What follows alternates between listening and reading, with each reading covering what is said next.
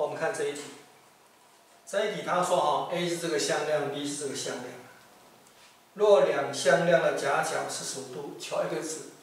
那我们就用 a 多的 b，a 多的 b 是六加 x 嘛，等于 a 的大小是根号十，啊乘以 b 的大小是根号 s 平方加上呢二的四，乘以 cos 这两个向量的夹角，cos 四十五度是根号二分之一啊，要把它乘过来，然后平方就两倍的 x 加六的平方等于十倍的。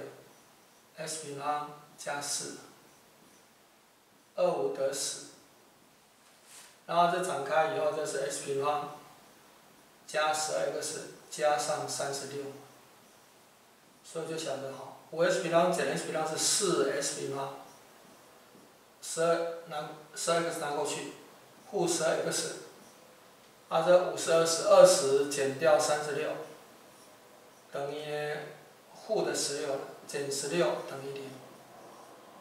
好，那我约掉四，四一四四三十二，四十六，所以变成 s 平方减三 x 减四等于零了。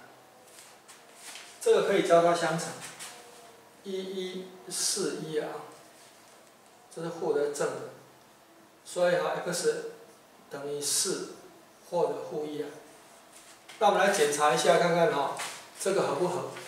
如果这个是四的话，a 到的 b 大于零嘛，所以呢，这个角度的话呢，小于九十，这是对的。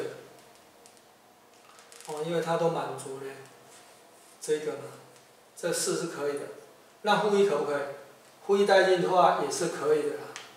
哦，负一带进去的话哈，六嘛，六减一是五，也是大于零，所以的话哈。这个角度也是在第一象限，也会等于四十五度的，所以呢，这两个都可以，所以答案是四，或者是负一。